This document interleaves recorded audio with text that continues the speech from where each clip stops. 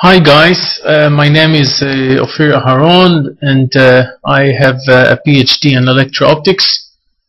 Uh, this is my website uh, www.bonavin.com um, I have a solution for presenting um, the data from GSolver. GSolver is a program to solve the orders uh, from uh, gratings, transmission orders, and reflection orders.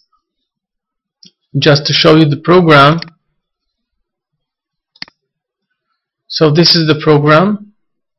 Here you can build the grating and then finally you can um, um, see the results here. Here it's going to be a really huge matrix if you use uh, multiple uh, parameters you can change wavelength theta phi uh, alpha beta and the depth of the grating as well as uh, building the grating itself. The only problem here is that the GSolver uh, does not uh, present uh, um, multiple dimension data. So if I want to to see um, how the data how the efficiency of the orders um, uh, are in, uh, for example, uh, theta and phi and um, and and grating depth and so on. Um, it, it's not it's not possible to do it uh, only by looking uh, the graph uh, through the GSolver. So I build a program which I'm selling it now. I'll show you the program reads the matrix. So if if I if I run the the the, the GSolver just for two parameters, I'm choosing some wavelength, some depth, and so on, and I want to see the efficiency uh, orders um, um, versus theta and phi. So my program um, realized that there is only two parameters. I mark them, and then I asked the program to build uh, the matrix or the data. Uh, automatically, of course, the bottoms here are added according the uh, orders. Now I can see the orders. I can rotate the graphs and so on. I can change um, uh, the way I want to present the graph.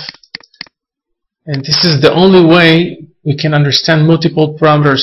Now I'll show you, um, I'll press reset, I'll show you um, a, a, different kind of uh, uh, grating, for example, something like, uh, let's say, four parameters.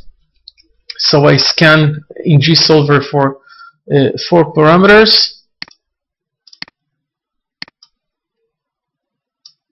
I'll change the name of the file and press F5 so here it is. This is the four parameters I choose to run. It's the, the lambda, theta, phi and the grating depth. For example I would like to present the data um, lambda versus uh, theta. I choose the bottoms. Of course automatically the program realize the uh, number of uh, orders. I execute the program and you see the other bars here disappear because it's not relevant. There is only uh, one parameter one parameter here, so no parameter to scan. And uh, um, now the graphs, we will see the graphs according um, according the um, uh, the orders. Now here uh, this axis is lambda and this axis is, is theta. we see straight surface because I need to choose the depth. So the depth now is 0.5 and now I can change I can change phi and see what it does to the graphs. It's very important in looking for uh, uh, data for unique uh, conditions. For example, I use it for head-up displays to to um, to construct a head-up display for airplanes or aircraft. uh, using um, uh, gratings. So it's an ongoing research, but it's a wonderful tool, and, and it is the only tool to to use uh, GSolver to understand multiple parameters. Uh, let's do another example. Let's press reset, and now I want to present the graph theta versus phi. So this is the angles, uh, the impinging angles to the gratings. Now I build again the data, and now we can see now we can see the uh, the data according theta or versus theta and phi. This is theta this is phi this is phi this is theta. This is the uh, uh, reflection orders and this is the, the transmission orders. Here you can see really beautiful um, how the data looks like. Now if I change the lambda or I can change the depth, you see the graphs shows uh, like it's like um, taking two um, uh, dimensions and, pres and present it and by moving the other parameters it's like we're uh, browsing the different dimensions. So let's do one uh, uh, one example, but one more example. But before that, I would like to uh, to emphasize that this matrix always uh, sum all values of the orders, and it it's supposed to to be kept in one. Sometimes there is singularity, and uh, you will see here holes, but it's okay. The rigorous uh, coupled wave analysis sometimes um, have a kind of singularity and in this program you can see it uh, really beautiful uh, one more example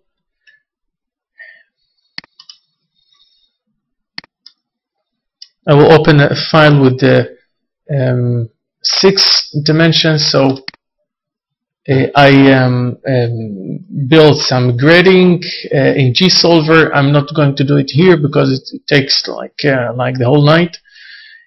And um, so the program here um, uh, diagnosed that, realized that there is six parameters: lambda, theta, phi, alpha, beta, and t depth. So now I can choose, for example, if, if, if I would like to see the efficiencies according the uh, impinging angle, so naturally I will choose theta and phi and ask the program to build um, to build the, the matrix again, so the, the surfaces of the uh, orders. So now we'll see, um, for example, um, or, order um, uh, one one t, and uh, we see that there there is no there is no uh, high values. The, values are very low. So see here the depth is zero here. So I'll give it a high, and I'll choose some ellipticity of the of the impinged uh, um, uh, field. And I can play also with with lambda. So here it's 0.3 microns and 0.6 microns. That's that's the vector I choose. Anyway of course you can you can run the program with the much uh, um, with multiple parameters so so here you see how the depth changed the efficiency very very ridiculously so uh, let's try another one and uh, I'll finish here. For example, I, I'll take uh, phi and uh, let's say uh, uh, theta and run the program. So you see when I choose the two parameters I want to present the graph, the, um, the bars here are disappeared because they are not relevant now. And as well as the bars here because it's not relevant uh, since uh, it has only one one uh, value. And the other has multiple values so I, now I can play with it